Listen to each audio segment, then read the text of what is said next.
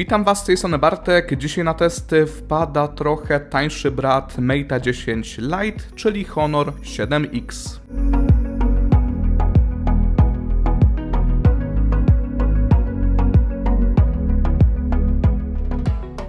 Za wypożyczenie Honora 7X bardzo dziękuję sklepowi bezcena.pl, a samo opakowanie wygląda bardzo ładnie, jest błękitne. Cieszy mnie fakt, że Honor powrócił do e, tego standardowego pierwszego koloru, jaki zawsze był na pudełkach tych smartfonów, czyli kolor błękitny, ponieważ nie ukrywam, że ten kolor bardzo mi się kojarzy właśnie z pudełkami tej marki.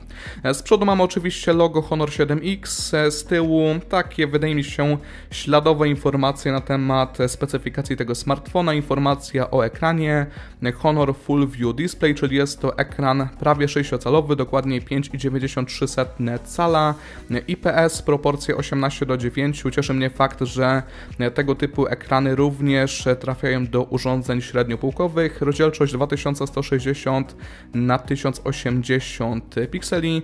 Aparat główny ma dwa obiektywy, pierwszy 16 megapikseli, drugi ma 2 megapiksele zobaczymy jak to będzie się sprawdzać. E, przedni jest to 8 megapikseli.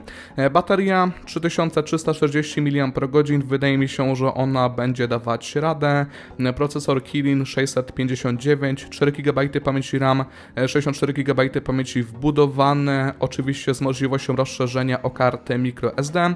Nie zabrakło również hybrydowego Dual SIMa. Ok, specyfikację mamy omówioną, tak więc zabieramy się już za właściwe rozpakowanie opakowanie.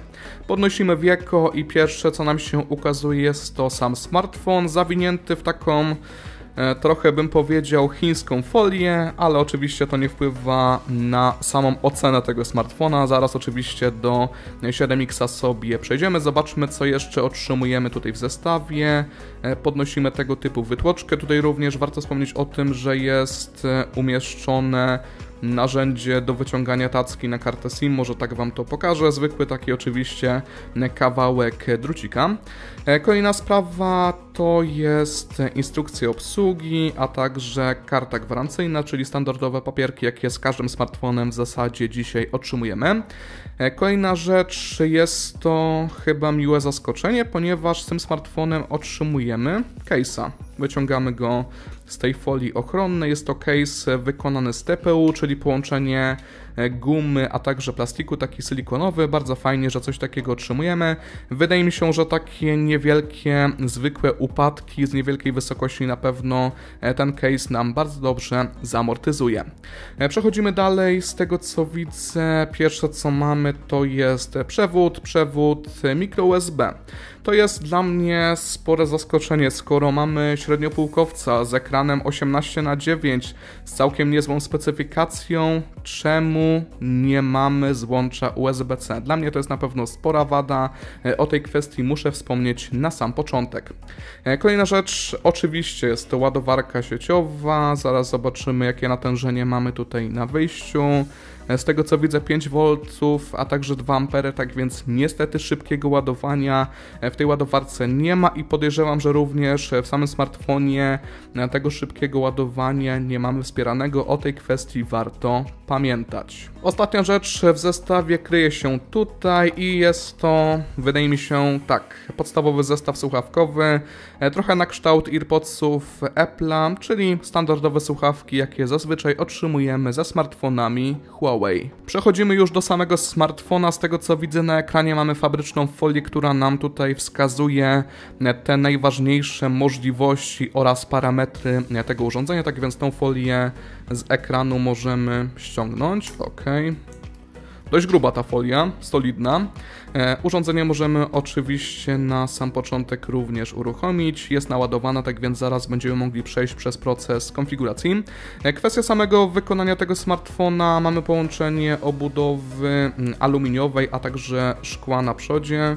Czy tą folię mogę też jakoś ściągnąć? Ok, tutaj jest taki wichajster, jak to mówią. Ściągamy tą folię. No i mamy urządzenie e, pokazane w pełnej krasie. E, cieszy mnie fakt również, że miałem możliwość wyboru koloru i wziąłem ciekawszy kolor, czyli oczywiście e, kolorek niebieski. Dwa obiektywy delikatnie z tego co widzę wystają. Oczywiście skaner linii papilarnych z tyłu. Urządzenie już z tego co widzę nam wystartowało, tak więc przechodzimy do samego systemu. Z tego co widzę nie było w tamtej konfiguracji, może to i lepiej, bo ona na pewno byłaby przydługa, ale tam byśmy sobie oczywiście skonfigurowali bądź co bądź podejrzewam świetny, szybki skaner linii papilarnych i oczywiście język i tak dalej, i tak tak więc to wszystko sobie już sam, można powiedzieć, poza nagraniem e, sprawdzę. Zobaczymy, jak to urządzenie będzie się tutaj sprawdzać, ponieważ względem Mate 10 Lite, z tego co pamiętam, nie mamy tutaj niestety NFC i to jest minus, minus również w postaci tego nieszczęsnego złącza micro USB. Naprawdę, to są już dziwne, totalnie dziwne oszczędności, czemu nie można było tutaj umieścić już złącza USB-C. Sprawdzę na pewno również, jak sprawdza się tutaj aparat. No nie spodziewam się wodotrysków, biorąc pod uwagę to, że jest to urządzenie średniopółkowe, ale mam nadzieję, że zostanę mile zaskoczony. Oczywiście wszystkie funkcje Wam dokładnie przedstawię w końcowej recenzji. Sprawdźmy również, jaką wersję systemu tutaj mamy. To jest aktualnie wszystko po niemiecku, tak więc e, mamy tak, Emotion UI 5.1, tu mamy aktualizację, no podejrzewam, że jest to albo Oreo, albo Nougat, Uber Das telefon, mamy Androida 7.0 Nougat, e, czyli jeszcze tutaj Oreo nie mamy, szkoda, natomiast mam nadzieję, że urządzenie zostanie bardzo szybko zaktualizowane. Jeśli macie jakieś pytania odnośnie Honora 7X, to wszystko piszcie śmiało w komentarzach poniżej, natomiast ja się z Wami żegnam, pozdrawiam Was, na razie.